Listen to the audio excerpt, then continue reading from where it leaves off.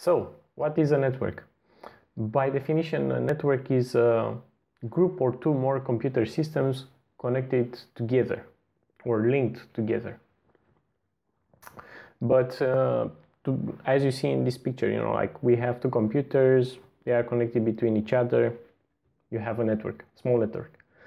But to be blunt with you, a network um, is made out of a bunch of devices uh, which are interconnected between each other and some devices they are requiring information some other devices they are providing the information which is required and other devices they are carrying the information. In CCNA, CCNP um, networking certifications uh, you learn pretty much how that information is carried. Um, the most important components um, of a network um, are hosts and network devices. The hosts, uh, you might be familiar with some of them. They are like your PCs, your laptop, your um, phones, your smartphones, your tablets, your servers, if you have any. And over here we can see the representation in uh, on the logical diagrams. Pre pretty much this is how they look like on a network diagram. And this is how they look in a real world. However, our focus won't be on uh, computers, on uh, phones or smartphones and so on. It will gonna be on these ones. It will gonna be on network devices. Over here we uh, you see some names like uh, the hubs, bridges, switches, and access points. Um, these ones we were gonna talk only in theory because they are not used anymore, bridges and hubs. Um, and anyway, these are old ones, legacy ones, which were replaced by switches. the, the next ones are routers and firewalls and again you can see um, how they look like in uh, on the logical diagram and how they look like in uh, real life it's a little bit tricky to to make the difference between them in real life unless you are you know exactly the model that you're looking at um, but we will gonna get to that one later uh, the medium of uh, transmission for a network. Um, most probably you are familiar with wireless transmissions that it's via thin air, nothing else but air, and via cables. Um, the medium transmission of uh, thin air, uh, it's very simple. Uh, when you're um, connecting your um, smartphone or your tablet or your laptop to a Wi-Fi network. And the cables, the cables are a lot of them. Like for example, you can have copper cables or you can have fiber optic cables. Uh, to discuss first, we can talk about uh, copper cables. So, you know, like for, for example, for the net, uh, for the um, copper cables we can have coaxial cables uh, which are like very similar to those ones which are going back in your TV uh, twisted pairs like this one over here and the serial cables let's talk about the the coaxial cables not so long time ago, you know, like uh, people uh, used modems and coaxial cables to connect to the internet. The PC connected to a um, cable modem um, was using an uh, Ethernet cable, which was an Ethernet cable just like uh, this one here. which was uh, connecting your um, PC. One end was connecting to the PC and the other end was connecting to the modem. From the modem, you had um, uh, a cable like this, one end like this, uh, which was connecting to your modem, and the other end was connecting to the wall uh, wall outlet um, in your home. And th this is how you got an internet connection at that time. If you want to see more details, for example, you can go on this link here. Over here in this link, you can um, you can see the modem type like you know like for for example if we are posing uh, here here is um, uh, one end which was getting from your uh, wall outlet to your modem using the connection via the coaxial cable. And over here you had an ethernet cable which was going to your PC moving further. If um, right now right now most most of the times you're gonna have something like this. You're gonna have a twisted pair cable uh, going to your um, Wi-Fi router uh, which most of the times it's uh, provided by the um, ISP and these ones are twisted pair cables shielded or unshielded. The first the first question you might ask you know like why they are twisted? Well they are twisted so the electricity will flow much better and uh, will have less interfe interference from outside. If you're gonna go to this website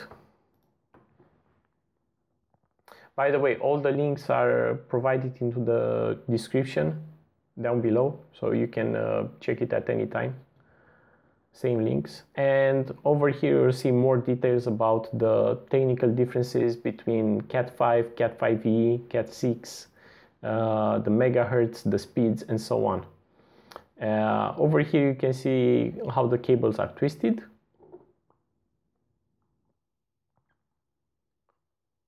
This one is the unshielded twisted pair and this one the shielded is the shielded twisted pair. Over here you can see differences between them. So yeah, you know, like if you want to read uh, these kind of details, feel free to get to go here on this link and read them out. Now, if we are going to the Cisco page, okay, over here we can see the cable specifications, we can see how to identify an uh, RJ45 rollover cable, what are the differences between them. Um, you, you can see the, the pairs, how they are forming over here. For example, these ones. And basically the rollover, you know, on the other side you have the pairs uh, the, the pair reversed and the cable is reversed. Uh, you're gonna use this type of cable if you want to connect your PC to a um, console port on a router or on a switch or whatever device you have.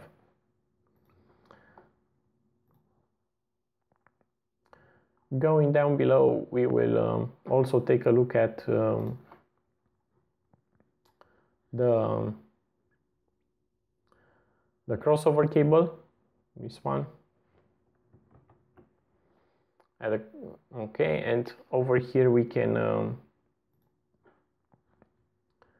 we, we can see that uh, the cables are made with uh, the first pair is um, white orange orange uh, white green blue uh, white blue green white uh, brown brown and brown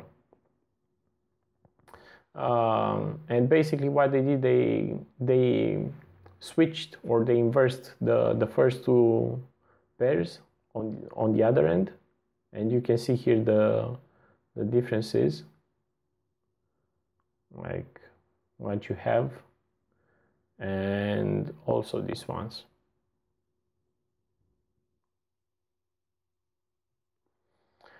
And the crossover cable, you're gonna use it when you're gonna want to connect a um, switch to a switch uh, or um, a router to a router or a PC to a PC. Basically, these these type of devices they they, they are all the same type.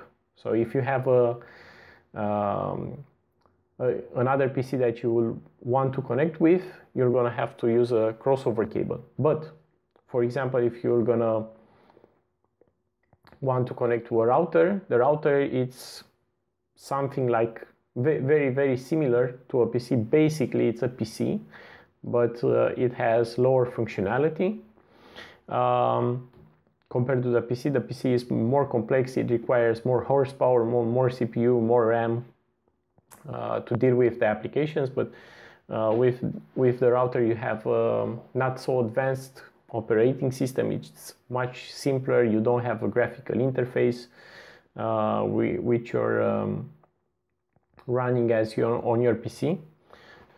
Uh, but for example, if you want to connect your laptop to a switch, which is a different type of device, uh, then you you'll have to use a straight through cable. And straight through cables look like this. Here you can see them. You can see how, how the pairs are, um, are the same.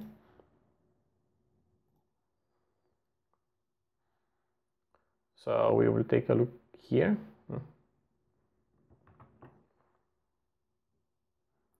We'll take a look here. You can see that the pair, are the pairs and the how, how the cables are um, are put over there, they are, they are basically the same.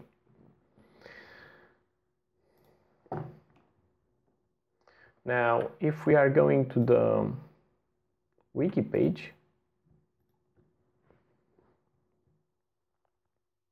we can uh, see the standards. Like uh, over here you have um, TIA um, 568B type and down below you have um, 68 uh, T568A and uh, T568B and you can see the the pins uh, and the pairs which are like reversed. Like for example here you have as we talked uh, here you have um, um, white green with green, white orange with with uh, blue, white blue with orange, white brown and brown.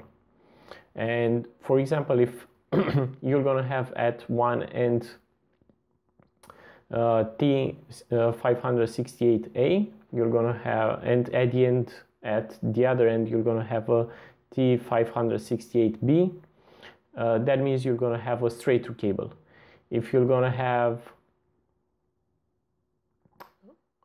uh, sorry, a crossover. If you're gonna have at one end this type and at the end, at the other end uh, the same type, then you're gonna have a straight through.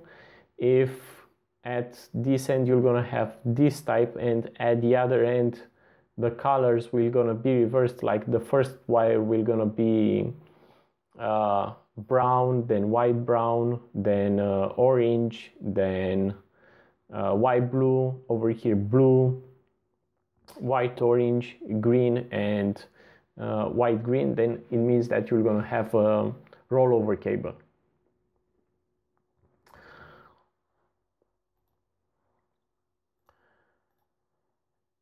Speaking again about uh, serial cables, um, serial cables most of the times are used to connect uh, routers and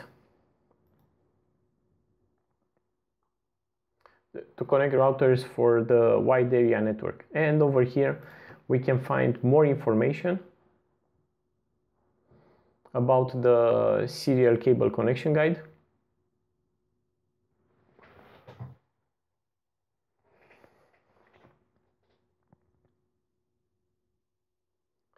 And as you can see, you're gonna learn the differences between the DTE or DC, uh, what you can connect with them, male or female, the Cisco series cables. The, these are the connectors, how they look like, what is the standard. But if you want a much better explanation, I would advise you to go on uh, this site.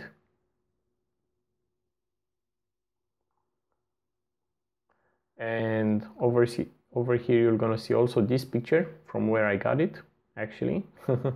So go and check it out. Okay, now moving on to the fiber optic cables. The fiber cables, uh, man, these are fast. Instead of uh, using uh, electrical signal, uh, they are using light uh, or um, they are using light.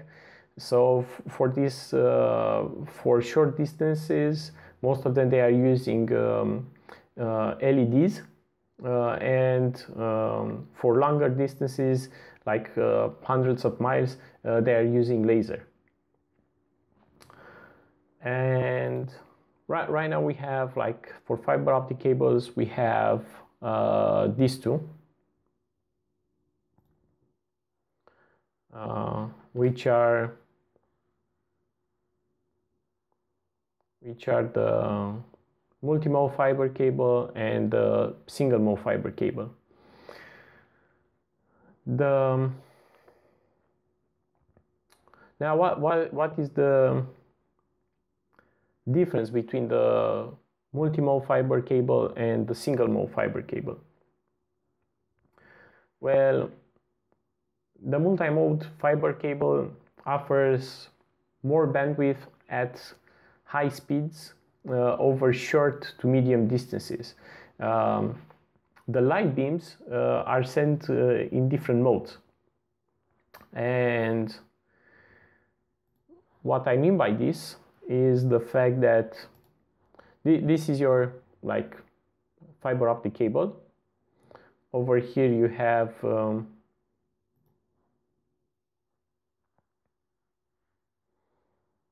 so let's make it, let's explain the multi-mode fiber first. So what means that the light beams are sent in different modes. Like for example, this is the cable, this is the, the core of the fiber optic cable, and the beams can be sent like this, or like this, or uh, like this. They, they can cross each other at some points you know, and so on until uh, until they are reaching the end, the other end.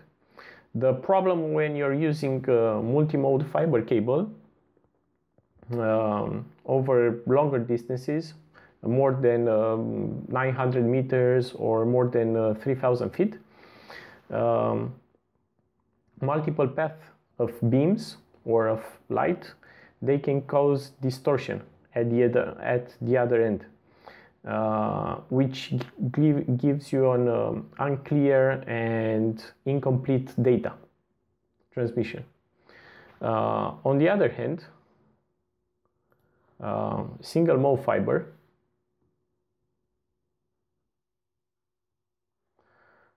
single mode fiber uh, uses like linear beams. They, they are using the, the, the beams of light, they look like this. The core, the core um, of the fiber optic cable, it's uh, much smaller. It's not that big as um, the, the other one on the um, multi-mode fiber cable. And the, the single mode fiber cables, they can travel um, uh, greater distances like um, they can travel something like 50 times more than the multi-mode fiber cable can. But the problem is that they also cost much more. Um, the small core and the fact that the beams are sent in uh, this direction you know like they they are going from um, on a linear uh, on a linear direction. Um, it eliminates the the distortion um, and your your pulses will not gonna be overlapped. Um, um, and over here you can uh, reach out you know like to hundreds of miles you know like you, you can go much uh, much longer compared to the multimode fiber cable. Now we have the GBIC interface converter uh, over here. So um, what are these GBICs or um, gigabit interface converter. They are like ports that you can put on your switch or your router and plug the uh, fiber cable optic, uh, the the fiber um, the fiber optic cable into them. Uh, the same are for the um, SFPs, uh, and they are called small form factor pluggable uh, ports. Okay. Um, and about uh, Cisco interface converter and uh, SFPs you can find more details um, about them on the Cisco website